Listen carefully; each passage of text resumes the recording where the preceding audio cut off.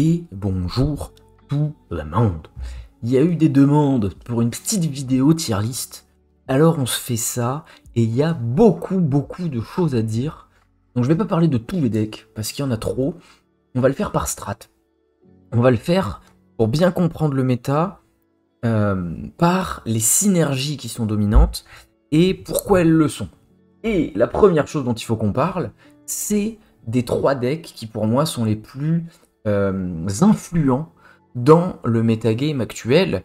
Et en fait, c'est parce que c'est les decks qui sont complets par rapport aux autres. En fait, ça va être le gros truc du metagame actuel, c'est qu'on a des decks qui sont complets, c'est-à-dire capables de jouer et les points et la disruption, et on a des decks qui sont très bons l'un dans l'autre et qui vont être un peu moins forts dans le méta. Et pour ça, on va commencer par cet article que je viens d'écrire, c'est la preview. Il est même pas sur Snapzone, et en plus, il faut être un membre premium pour le lire, euh, mais comme c'est Bibi qui l'a écrit, eh ben niquez-vous, je fais ce que je veux avec.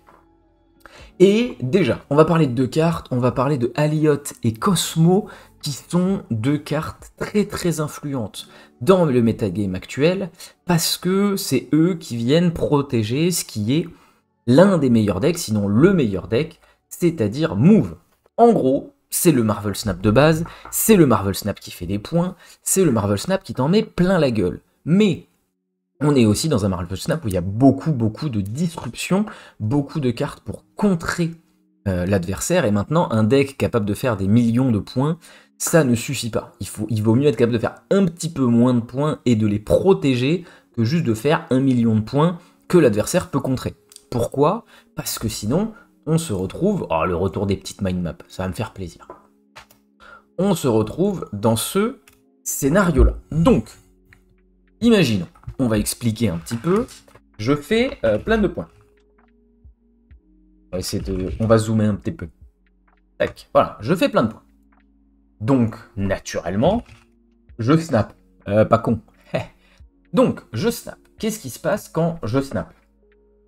Mon adversaire Adversaire, non, adversaire. Part. Je gagne. On sait pas écrire, c'est énervant. Mon adversaire part. Je gagne un cube. Possibilité, mon adversaire part aussi. Mon adversaire part plus tard, parce qu'il voulait rester, parce que ça l'amusait. Et finalement, il se rend compte que il part plus tard deux cubes. Et ensuite, du coup, mon adversaire reste. Et pourquoi il reste? Alors, ça fait 4 cubes. Voilà. En gros, c'est les trois possibilités qui peuvent se passer. Ici, là, mon adversaire part, je fais un cube, 1. Mon adversaire part plus tard, je fais deux cubes, 1 aussi. Mais là, en gros, c'est... Euh, il a compris qu'il avait perdu.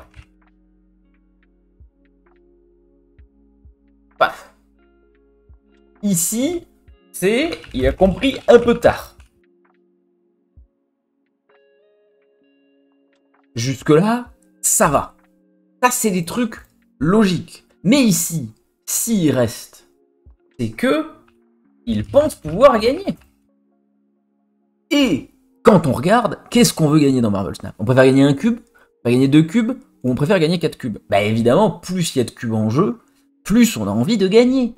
Et ben c'est à ça que servent Cosmo et Aliot. Ils servent à aller gagner ces matchs qui valent beaucoup de cubes parce que avec des synergies qui font beaucoup de points, si votre adversaire reste, c'est parce qu'il pense qu'il peut vous counter. Et ça c'est quelque chose qui a longtemps manqué à Discard, qui a longtemps manqué à Destroy, cette flexibilité, cette capacité à protéger les points. Et c'est ça qui est la base voilà, c'est la base du metagame euh, actuel. Donc, on a Move qui est très bon. Deuxième deck qui est extrêmement influent, c'est Junk. Alors il y a Junk classique et Bounce Junk. Euh, à part si c'est la première fois que vous êtes sur cette chaîne, bienvenue. Mais si c'est pas la première fois, vous savez très bien pourquoi j'ai choisi Bounce Junk parmi les deux. Parce que c'est infiniment plus fort et je ne veux rien entendre au fond de la classe. Euh, mais du coup, là, on est dans l'inverse on est dans l'optique inverse, c'est-à-dire qu'on est dans la disruption, mais dans la disruption rapide. Donc en fait, on va avoir cette même idée que Move, qui est je m'installe très vite, je crée vite la situation qui me permet de snapper. Et ensuite, il faut quand même que je garde mon adversaire dans la game. Et ce qui garde mon adversaire dans la game, c'est le fait que le deck ne fasse pas beaucoup de points. Mais il n'a pas besoin de faire beaucoup de points, puisque une fois qu'il a gagné une ligne, il peut soit y aller au Cannonball, soit à l'US Agent, plus des démons, plus des Titania, euh, plus des Docteurs Octopus. Bon, ça marche pas trop avec US Agent, mais des petites cartes. Donc voilà. Les deux decks les plus influents, qui sont Move et Junk à mon avis, ils fonctionnent de cette même façon. Je développe très vite, je me mets dans une situation de snap, et ensuite, je laisse quand même une porte de sortie à mon adversaire pour pas qu'il s'en aille et que je le punisse pour encore plus de cubes. Et ensuite, on a fait une vidéo dessus, d'ailleurs il a un petit peu bougé le deck, bah, vous allez pouvoir voir la version euh, update, alors la version update c'est pas non plus la folie, mais j'ai mis Nick Fury à la place de Iron Man et dans la vidéo j'avais déjà mis Cosmo, eh bien c'est Harry Shen qui est en train de revenir un petit peu d'entre les morts en ayant viré euh, Loki de son deck, parce que lui, eh ben en fait dans un sens, il fait les deux il essaye de jouer à la fois counter, alors pas comme Junk, mais counter de move avec Shadow King et Shang-Chi, mais il a aussi Cosmo et Elliot pour jouer counter des autres synergies. Et pourquoi est-ce que Cosmo et Elliot c'est intéressant, même dans un deck qui fait moins de points que Move, mais qui fait quand même pas mal de points, parce que comme on a un d'énergie de plus, on est devant, et ben là, c'est la tier list ranked qu'on va aller voir, et eh bien c'est parce que le quatrième larron de la foire, qui n'est même pas un très bon deck, mais qui évidemment fait toujours parler de lui quand il revient, c'est Ella. C'est en fait ça qui rend aussi Move aussi fort, c'est que 1, on peut faire beaucoup de points, et qu'on a des cartes de protection qui marchent nickel avec Cosmo et Elliot, mais qu'en plus, on a Ella qui est revenue au dernier patch, et Ella, eh ben, elle aime ni Elliot, ni Cosmo, et donc les decks qui sont capables de se battre avec des points, et donc qui ont déjà une raison de jouer Elliot et Cosmo pour se protéger de Shadow King, pour se protéger de Shang-Chi, pour se protéger d'Enchantress, protéger de toutes ces cartes de contre, au final, ils ont en plus une raison par-dessus, qui est coucou est là, tout le monde te joue, tiens, voilà, ton petit cul est là. Voilà, ça, c'est le euh, méta. Une fois que vous avez compris ça, vous avez relativement tout compris au méta Marvel Snap. Et après, bah, il y a deux trois petits decks sympathiques à voir. Par exemple, voilà, le retour de High Evolutionary, qui est là, comme ça, soirée crêpe, euh, et qui profite qu'on ait enfin assez euh, de cartes de euh, réduction de puissance, parce qu'en fait, bah, tout, sauf Shang-Chi, est une réduction de puissance. Shang-Chi, évidemment, est flexible. Vous pouvez jouer Cosmo si vous voulez embêter là. Vous pouvez jouer Enchantress si vous avez peur de Luke Cage. C'est un peu le problème du deck, c'est qu'en fait, ce deck-là, eh ben, il est pas bon contre Ella. Parce que Ella, qu'est-ce qu'elle fait? Eh ben, elle joue Luke Cage. Alors il y a les cons qui vont me dire, bah ouais, mais il fait Luke Cage au T3, puis tu le Red Guardian. Oui, mais un bon deck là, ce qu'il fait, c'est qu'il le défausse, Luke Cage, et il revient avec Ella. Et du coup, tu peux pas interagir avec parce qu'il est caché dans Ella. Voilà. Mais vous pouvez tenter. La version simple, c'est que Shang-Chi devient Enchantress ou Rogue pour Luke Cage. La version un petit peu compliquée, c'est que Red Guardian se transforme aussi en un Cosmo, en un Spider-Ram, euh, en une copycat un truc comme ça qui va venir embêter euh, Ella. Sachant qu'en plus, Ella qui ne joue pas beaucoup de cartes, c'est assez chiant pour Abomination, mais par contre c'est vachement cool pour Ajax, si encore une fois, ils n'ont pas Luke Cage. Autre deck sympathique, si vous voulez un petit peu d'originalité, le retour du deck 10 de puissance avec le copain Scar. Alors évidemment, on peut encore voir la disruption d'Aliot, c'est un 10 de puissance, on va pas se priver. Armor et Kaira pour protéger face euh, au Shang-Chi en tout genre. Et après, là, par contre, on est dans, dans le développement. Euh, c'est-à-dire que bah, le but, c'est de faire des électro-blink, c'est de mettre des culs obsidian. Voilà, on n'est pas sur quelque chose de très très euh, compliqué. Il y a toute cette synergie autour de Scar. mais le deck est intéressant. Et d'ailleurs, peut-être on se fera une game ou deux avec. Parce que bah, le deck est sympathique. Et qu'on l'a pas encore fait sur cette chaîne. Donc on va voir. Peut-être, si on a le temps, on se fait une game ou deux. Pour ceux qui ont besoin d'émissions du week-end et qui n'aiment pas Phoenix Force, on peut jouer aussi ce deck-là pour faire l'émission avec Symbiote. Voilà, vous enlevez Iron Lad, vous mettez Symbiote. Iron Lad est cool parce que on a le high roll euh, sur Darko et Ronan, mais Symbiote permet de réactiver Iceman, permet de réactiver Korg, Master Mold, Cassandra Nova. Euh, on a euh, même Rockslide, il y a des choses à faire. Et vous avez le tour 6, toujours pareil, la disruption. Vous posez un de vos deux gros au T5 et tour 6, Mystique, Cosmo est toujours lui, il est toujours la Cosmo. Voilà. Alors, qu'est-ce qu'on a d'autre comme deck un petit peu cool dont on pourrait euh, parler? Harichem Loki, on en a déjà parlé, voilà, ça c'est l'autre Harichem. Agatha Discard, qui est un petit peu en train de, de plonger, parce que bah, y a Ella qui est revenue et qui est juste un meilleur discard pour faire des points. Donc Agatha Discard, il va peut-être falloir trouver un petit peu plus de disruption que Moon Knight. Euh, on va voir. Destroy, toujours là avec Arania, mais vous voyez, Destroy, c'est exactement ce qu'on disait avec Move. En termes de points, en termes d'affrontement, Destroy est capable de faire autant de points que Move. Il n'y a pas de problème. Peut faire des gros Deadpool, mettre des Nimrod partout, des gros Knull, des Def à zéro. Destroy, son problème, ce n'est pas le potentiel. Son problème, c'est le fait que contrairement à Move, il ne protège pas ce potentiel. Et donc, quand il y a un Shadow King ou un Shang-Chi qui débarque, Bad Null il explose, Bad Deadpool il redevient à 1, et ce genre euh, de choses. Voilà pourquoi Destroy est en bas du tiers 2, alors que Move est en haut du tiers 1. Euh, Weekend Move, voilà, si vous avez envie de jouer un move un petit peu plus euh, original, mais voilà, bon, bah, on voit qu'il est beaucoup plus bas que le move classique. Mais voilà, si vous avez envie de jouer du Weekend, la quête Bishop, des decks un petit peu plus diversifiés, vous avez ces options-là. En move, il y a aussi du Weekend Pixie. Voilà, on est dans du complètement dans un autre deck, mais on peut voir, voilà, dans beaucoup de decks en ce moment, il y a du Aliot, il y a du Cosmo, il y a ce genre de choses. Et alors, c'est assez marrant. On va pas faire la tier list conquête parce qu'en fait on va la faire maintenant. Euh, c'est qu'en fait la majorité des decks qu'on va voir en tier 3 là sont très bons en conquête, mais euh, en conquête avant l'arrivée de la Ligue Infinité. Ce que je vous ai montré juste ici, c'est mon guide pour la Ligue Infinité pour les membres premium de Strapzone. Vous avez vu que ben, j'ai pas mis euh, Kazoo, j'ai pas mis Lockdown, j'ai pas mis tous ces decks là. Pourtant, en conquête, à l'heure actuelle, ils ont de très très bonnes stats. Pourquoi? Alors, Kazoo, je vais me répéter pour la cinquième fois de cette vidéo, mais Cosmo, Kazoo est l'un des meilleurs decks du jeu pour prendre la priorité, donc pour lâcher des gros cosmos et donc s'ouvrir eh des snaps. Euh, lockdown, lockdown en ranked, bah, c'est chiant parce qu'on retombe dans cette situation qu'on a vu au-dessus. Bon bah vous snappez, l'adversaire part, vous avez gagné un cube. Vous snappez, il reste, vous lui mettez votre combo T5, et bah vous avez gagné deux cubes. Vous snappez, il part pas, vous dites attendez, il y a une connerie là. Vous vous faites high roll, vous vous faites counter, vous l'avez pas vu venir, vous perdez 4 cubes. C'est le problème de Lockdown en mode classé, c'est qu'en fait, il gagne les games qui valent pas grand chose et il perd celles qui valent grand chose.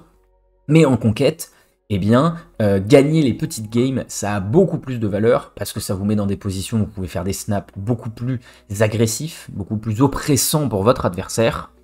Du coup, Lockdown bien bien meilleur en conquête qu'il ne l'est en mode Ranked. Phoenix Force, il est tier 3 dans les deux. Voilà, je l'ai pas mal joué, j'ai continué de le tester, j'ai voulu faire l'émission du week-end avec. C'est euh, compliqué parce qu'en réalité, il n'y a que la sortie Multiple Man qui est vraiment stable, sur laquelle on peut vraiment euh, compter. Il faudrait peut-être bah, justement mettre du, mettre du Aliot, mettre du Cosmo, arriver à trouver un truc comme ça, mais ça ferait vraiment euh, beaucoup de cartes. Mais peut-être que voilà, Symbiote et, et Arnim Zola, peut-être Arnim Zola peut devenir Aliot par exemple histoire d'aller counter un petit peu 2-3 euh, decks relous. On pourra tester ça, tu vois. On pourra tester Phoenix. Bah, regardez, je l'ai là. Hop. Euh, mais après, c'est la sortie Human Torch. Qu'est-ce qu'on en fait? Euh, Je ne sais pas. Je ne sais pas. Mais c'est vrai que Zola, j'ai du mal avec. Écoutez, on va mettre Aliot. On se testera tout ça. On avance, on progresse. On envoie. Bounce On a parlé de Bounce Junk. Bah là, vous avez Bounce point. Alors, s'il y a des gens que ça intéresse, moi, jouer Bounce, ça m'intéresse toujours. Hein. C'est le deck qui est ressorti avec euh, le changement de Black Swan que l'on pourrait tester. C'est juste que, bah, exactement comme Lockdown, exactement comme Kazoo, un Bounce qui ne fait que des points donne à son adversaire la possibilité de choisir quand est-ce qu'il part, etc. Junk, les snaps se font beaucoup plus tôt. Junk donne l'idée, la visualisation à l'adversaire que peut-être il peut nous arnaquer avant de prendre son gros cannonball sur une lane qu'il pensait avoir gagné. Ici, bah vous snappez, mais on le voit très bien, il y a Black Swan, voilà, il y a trop d'éléments visibles, vous donnez trop d'informations à l'adversaire pour euh, l'arnaquer, même si au moins c'est beaucoup plus flexible qu'un Kazoo ou qu'un Lockdown. Mais voilà, c'est pareil, on l'a vu, c'est un méta avec beaucoup de Cosmo, beaucoup d'Aliot. Et eh ben, euh, on reveal, euh, on reveal, on reveal, on. Activate, voilà, tout ça, voilà, tout ça, ça se prend des Aliots, ça se prend des Cosmos, c'est compliqué. Et Stature d'Arcock, exactement comme Lockdown, en Ranked, si vous n'êtes pas chaud de snapper T1, T2, bah, le deck est pas fou, parce qu'une fois que vous avez euh, touché quelque chose avec Spider-Ram ou euh, retiré avec Moon Knight, bah, l'adversaire se barre. Donc à moins que vous soyez prêt à snapper avant euh, et espérer toucher les bonnes cartes, et bah vous allez souvent récupérer que des 1 ou des 2 cubes, et très rarement du 4. Voilà le méta Marvel Snap. On a vu un petit peu tout, mais retenez surtout la première partie, j'ai envie de dire. Et donc, qu'est-ce qu'on se teste? Est-ce qu'on se fait une ou deux games avec quelque chose? Euh, Bah tiens, on peut tester ce deck là, parce qu'il me... Parce qu'il me... Parce qu'il me... Parce que je sais pas quoi en penser. Euh, et on va voir. Allez, ce petit Silent Performer là. Salut Choupi, comment tu vas? Voyons voir ce que tu joues. Voilà, tout simplement. Donc on joue euh, ça. Alors j'ai pas préparé de screenshot. On joue ça. Si vous avez besoin de le voir, on joue du gros Scar. Euh, et on va voir ce que ça donne. Un mélange. C'est le nouveau deck War Machine qui fait euh, bah, bien mieux que Lockdown. Hein, voilà. Alors, on a Ebonimo, on a Kyra, on a Scar. Premier joueur. Et obtient une copie. On a Aliot. C'est chouette. On va attendre un petit peu. On va attendre un petit peu. Euh, ça joue pas. J'ai le réflexe de cliquer, mais j'ai pas le réflexe de regarder le nombre de cartes. C'est quand même hyper con. Euh, non, ça on va voir. Peut-être j'ai envie de détruire. On joue Armor. Il joue White Widow. Très bien. Point de problème, euh, frérot Lito. Euh, bon, on va Ebonimo, je crois. Oh, c'est bien pour Scar, ça. Très très bien pour Scar, ça. War Machine Wa wa wa wa War Machine. On va mettre Kaira, du coup. On va mettre Kaira. C'est le gobelin. Très bien. Bon, moi j'ai une copie de ma main de départ. J'ai peut-être perdu la gauche, pas se mentir. Mais par contre, le reste, ça va être dur pour lui. Ah, le double Scar, il va être d'une violence. Il va être d'une violence. Je sais pas si je peux faire double Scar. Je peux en poser un. Ça, c'est sûr. Bah, j'ai pas trop de 10. Hein. J'ai pas trop de 10. Ça va être dur, hein. Octopus. Bah, vas-y, hein, tire l'autre Kaira. Qu'est-ce que je te dis? Tac. Bon, c'est du junk. On a parlé de junk. On l'a dit, c'était là. On le euh, savait. Blinkouille. Blinkouille, c'est War Machine. Ça m'intéresse moyen. Remarque, attendez. Attendez, attendez. Ça fait pas un infino de cette histoire? Ouais, mais je peux le faire au prochain tour, non? Je peux le faire au prochain tour.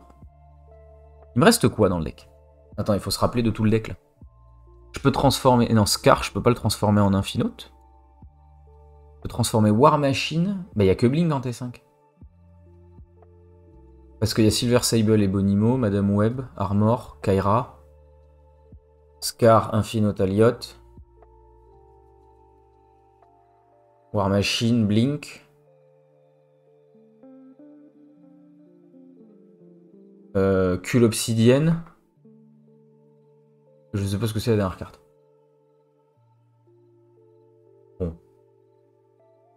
On va quand même s'attaquer ici, là, histoire de... Et on verra. Et on verra. Et on euh, verra. même à 14, ça reste très solide. Ça, ça reste très chiant.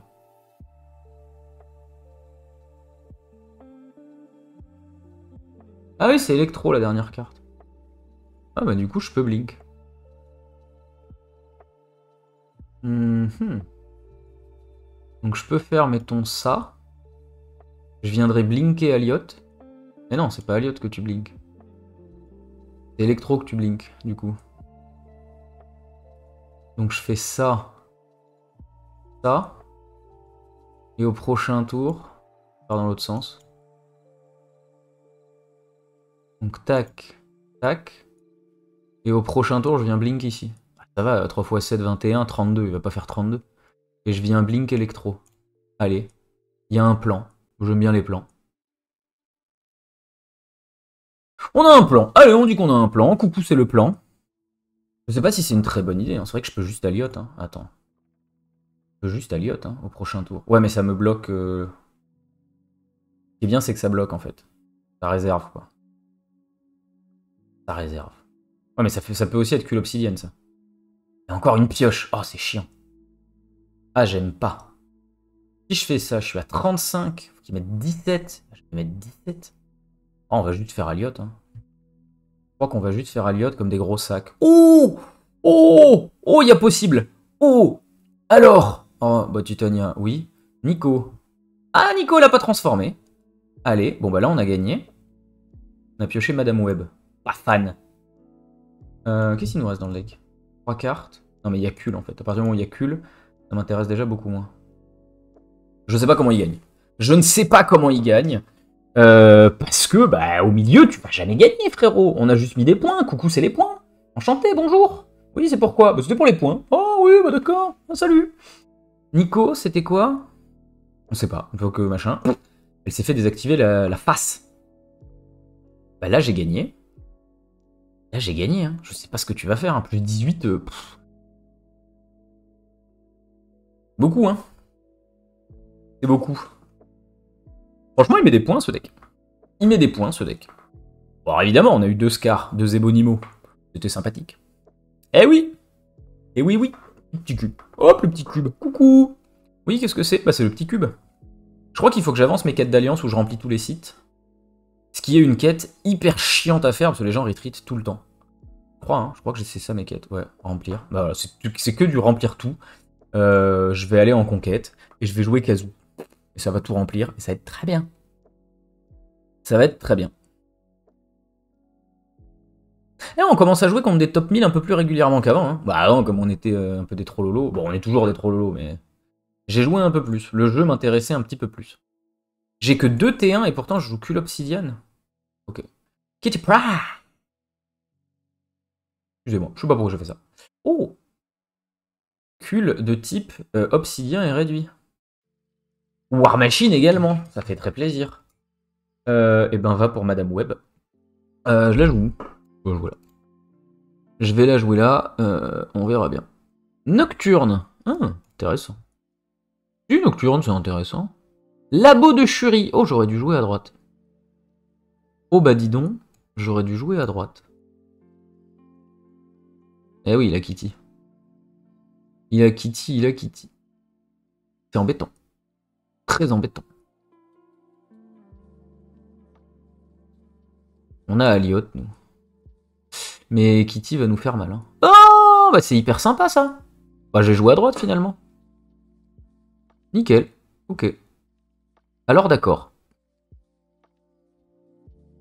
Alors d'accord. Bon, j'ai armor, hein, pour Shang-Chi. Silver Sable. Sabelu, Sabelu. J'irais même sabelu, sablette.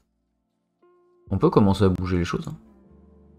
On peut commencer à bouger les choses. Bah lui il va avoir une grosse kitty, mais moi au final je vais avoir des gros, des gros trucs partout. Coucou, on est très gros. Oh franchement c'est pas si mal, hein. on va voir. On va voir, on va voir. Wait Widow, je m'en fiche, mais un niveau. Ah non mais c'est assez fou. Hein. Oh ta kitty elle est à 10, bon elle va quand même être à 40. À la fin, Kitty, elle est quand même à 40. Infinote. Je crois que je sais ce que je joue à la fin. Euh, Peut-être je le bouge à la fin, lui. Tac. Je peux faire ça. Et ça. Il y a quand même Shang-Chi à un moment qui peut traîner. Et j'avoue, ça m'ambiance pas ouf.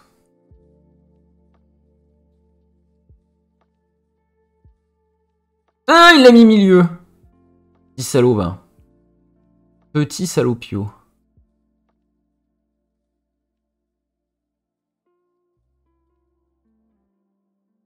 Bon, bah, je suis obligé d'Aliot alors.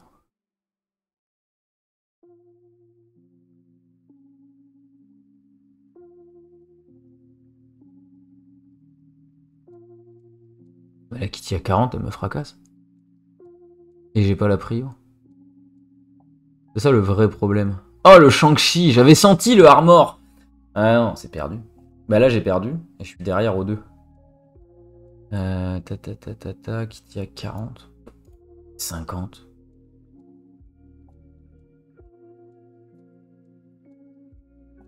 Son Shang-Chi a été très bon. Je l'ai pas mis au bon endroit. Je l'ai pas mis au bon endroit. Le, le armor qui n'est pas tombé au bon endroit. Mais bon, le deck fait des points. Le deck est sympathique.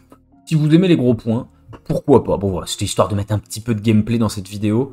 Je pense que vous avez compris Euh, L'idée derrière le décor, on fait des quêtes. Coucou les quêtes. Comment ça va? Est-ce qu'on a gagné un truc sympathique à ouvrir tous ensemble? Des boosters. Vraiment ce qu'on veut le plus, en fait. C'est ce qu'on veut le plus. Bon ben voilà, c'était le méta, on a fait deux games avec un deck un peu sympa comme ça, vraiment juste pour tester, parce que c'était la curiosité du moment. Euh, c'est pas forcément un deck que je recommande, hein, c'était juste dans la tier list. C'était la curiosité du moment, si jamais ça vous intéresse. Sinon, moi ce que je vous recommande de jouer en ce moment, c'est ça, que j'aime beaucoup. Si vous aimez Harishem, je pense que c'est une très bonne liste d'Harishem. C'est Move Junk. Si vous aimez Move et Junk, c'est sympathique. Euh, c'est la liste sur laquelle on a un petit peu bossé. Bon, elle a pas trop évolué, du coup, je vais pas refait une vidéo dessus. Sinon, euh, Bounce Junk et Pure Move. Voilà, les decks euh, classiques sur lesquels on s'attardera un petit peu, je pense, dans le futur. Et évidemment, là, on est dimanche. Demain, on fait peut-être d'autres jeux. On a peut-être d'autres choses, parce que il y avait le tournoi Dragon Ball ce week-end. hyper content. Volvi a gagné sa céréale, Romara a gagné sa céréale, Fichou a gagné sa céréale et le tournoi tous les poteaux, ils ont brillé, ça fait hyper plaisir. Euh, je suis très très content pour eux, félicitations. Euh, je ne sais pas encore si ça se fera ici ou si ça se fera sur France TCG, mais si jamais ça vous intéresse, checkez un petit peu, ça va en parler évidemment, on va débriefer, il y a déjà une vidéo qui est prête euh, avec Pichou sur son expérience, le deck, etc.